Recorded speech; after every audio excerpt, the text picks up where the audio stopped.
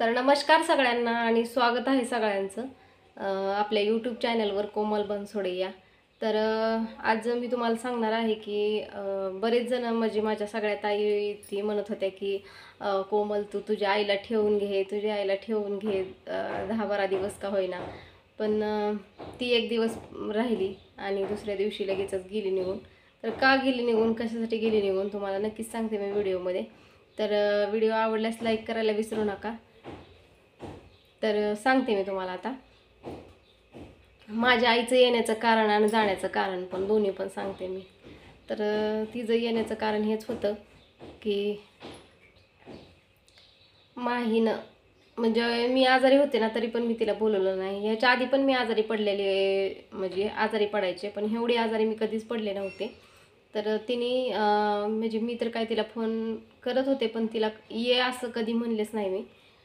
कारण की आजार पण प्रत्येकालाच येत आहे म्हणून मी काय बोलवलंच नाही म्हणलं चला जसं असेल तसं असेल.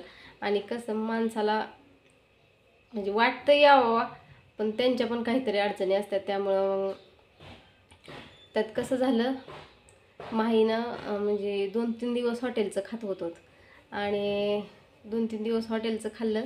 आणि संध्याकाळी पण आणलं होतं त्यांनी हॉटेलचं जेवण चपाती भाजी आपलं साधंच असं जेवण आणलं होतं वरण भात हे असं साधं जेवण आणलं होतं. पण त्यात काय झालं?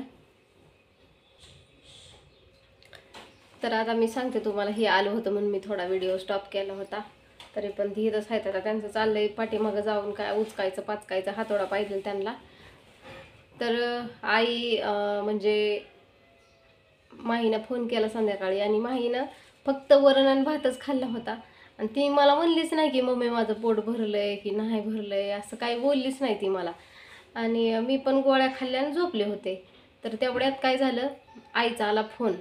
आईचा फोन आला आणि तिने काय केलं? म्हणजे तिला वाटलं असेल मम्मी आजारी हाय मम्मी कुठली उठून काय करायला? म्हणून तिनं मला काही सांगितलंच नाही त्या दिवशी. आणि मग तिने आईचा फोन आल्यावर मग तिने बोलत बोलत आईला गेली बोलून ती. तर म्हणली की मम्मी म्हणले मग तिला म्हणले म्हणले की माझं आहे ना म्हणजे मी वरण भात खाल्लाय अगं पण म्हणली माझं पोटच भरलं नाही म्हणली. आणि आता पोटात लय गुडगुड करायला लागलंय माझ्या. असं म्हणली. मग तिला लय कसं तरी वाटलं. ती म्हणली मग मला काय रात्रभर झोपच नाही आली असं तसं म्हणती माहिती डोळ्यासमोर तिच्या दिसायला लागली. म्हणून तिनं दुसऱ्या दिवशी लगेच सकाळी निघून आले. आता आम्हाला तर माहीत पण नव्हतं. आम्ही उरकून आमचं आमचं दवाखान्यात चाललो होतो. फोन केला तिनं. भावानं पण फोन केला की आम्ही यायला लागलो आहे आम्ही. आम्ही येणार आहे. मग तिनं इथं आल्यावर मला कारण सांगितलं. मी म्हणलं मी तर तुला म्हणलं नव्हतं बाई की ये म्हणून असं तसं का म्हणजे कामावर होती ना ते. तर मग परत म्हणली अगं मला माहीसाठी काही रात्रभर म्हणली झोपच लागली नाही म्हणली. म्हणून मी आले म्हणली बाई लेकरू म्हणलं की माझ्या पोटात नाही काय मला भूक लागली असं तसं. आणि मला माहीतच नव्हतं मी झोपलेले होते. माहीनं तशीच काढली रात्र मग वाटतंय. आणि परत खायला पण मी करंजाही करून ठेवल्या होत्या ती पण खाल्ल्या तिने आणि दूध पण खाल्लं वाटतंय परत उठून.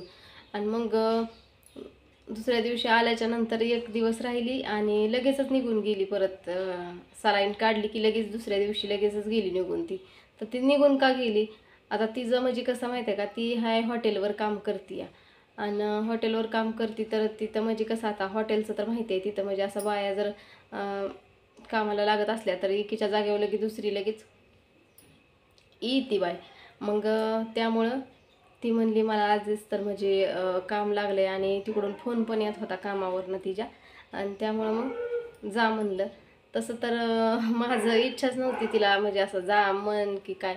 पण मी काही जा म्हणलं नाही आणि काहीच म्हणलं नाही मग म्हणलं जावा. कारण की कसं असतं माहिती आहे का प्रत्येकाच्या काही ना काही नडी असतात काही ना काही अडचणी असतात पण मला म्हणत होती ती तिकडं की इकडं ये करमाळ्यात तुला नेते दवाखान्यात असं तसं इकडं या तुम्ही.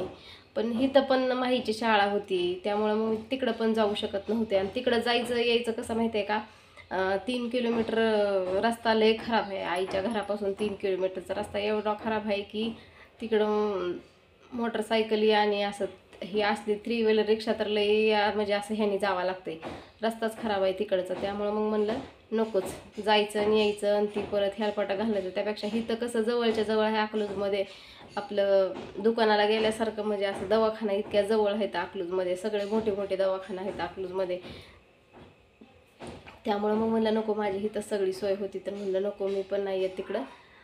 बघू आता कधी हे होईल ती होईल. पण माझं तर शक्यता म्हणजे मी तर जास्त करून कुठं जायचं यायचं टाळलेलंच आहे.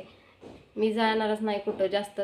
कारण की अकलूजमध्येच तेवढं इथल्या इथंच आपलं फिरायचं असं ठरवलं आहे मी. कुठं जायचं झालं तर हिथल्या इथं जायचं जरा वेळ बाहेर थोडंसं फिरायचं आणि आपलं आपलं घरी यायचं. कारण की कसं आहे माहिती आहे का बाहेर जर कुणाच्या म्हणजे असं आईच्या हिथं म्हणा कुठं पण जायचं म्हणलं ना तर म्हणजे कुणाच्या पाहुण्या रावळ्याच्या जरी घरी जायचं म्हणलं ना तरी मला नाही जावं वाटत आहे. तर का नाही जावं वाटत कुणाच्या इथं? कुणाच्या इकडं जावं वाटाना झालं आहे आता मला. आणि कारण की माझी तब्येत पण मला साथ देत नाही. आणि त्यांच्या इथं कुठल्या पाहुण्या रावळ्याच्या इथं जावं. तर गेलं की संध्याकाळी आपलंच दुखायला लागलेलं असतंय. मग कसं जायचं त्यांच्या घरी तरी?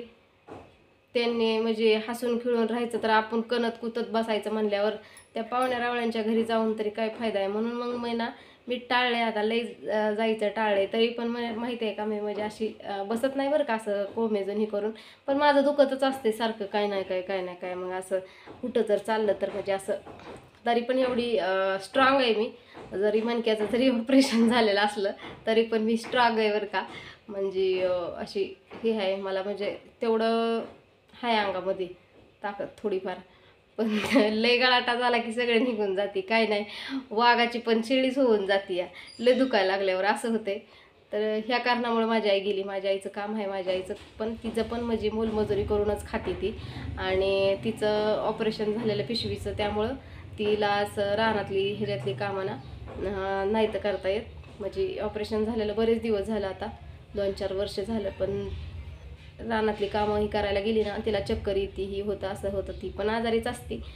त्यामुळं ती रानातली कामं आणि रानात आता शेतकऱ्यांकडं पाऊस नाही त्यामुळं कामं पण नाही तर. म्हणून जाते आपली कामाला ती. भाऊ पण माझा कुठं लागल तिथं कामाला जातो. ती पण कामाला जाते या म्हणून म्हणलं जा लवकर.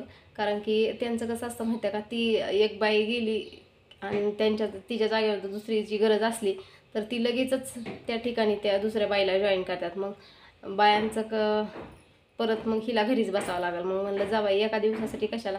माझं मी सगळं हळूहळू करते आणि करतेच आहे हळूहळू. बघा आता स्वयंपाक ही झाला आहे सगळा. भांडी ठेवले तिथं. घासायची. स्वयंपाक झाला आहे माहीचा डबा दिला. माहीचं पप्पा पण जेवून गेलं. माहीचं पप्पा आज कामावरती गेलेत ना त्यामुळं हातोडा शोधत होतं. आज कामावरती जावं लागलं त्यांना. कारण की कसं माहिती आहे रिक्षावर पण काय व्हायला लागले? जास्त रिक्षावाल्यांना पण धंदा नाही कधी दोन तीनशे रुपयातच भागावं लागतंय असं करावं लागतंय. त्यामुळं मग ती आज कामावर गेलं ते. तर चला बाय सगळ्यांना. माझी अपडेट मी तुम्हाला रोजची देतच जाईल आणि तुम्हाला जर व्हिडिओ माझं खरंच आवडत असतील तर व्हिडिओला लाईक करा शेअर करा. आणि नवीन कोण असाल तर सबस्क्राईब करायला विसरू नका. आणि कमेंट करणाराचं व्हिडिओच्या शेवटी मी धन्यवाद करेल सगळ्या कमेंट करणाराचं आणि तुमच्या सगळ्यांची नावं मी नक्कीच म्हणजे सांगल असं. ज्या दिवशी मला वेळ असेल त्या दिवशी मी सांगल. त्या दिवशी मला वेळ होता म्हणून मी त्या दिवशी तुमचा व्हिडिओ सगळ्यांचा बनवून टाकला. तर काही काहींची नावं राहिली होती. तर चला बाय मग सगळ्यांना. भेटू आपण पुढच्या व्हिडिओमध्ये.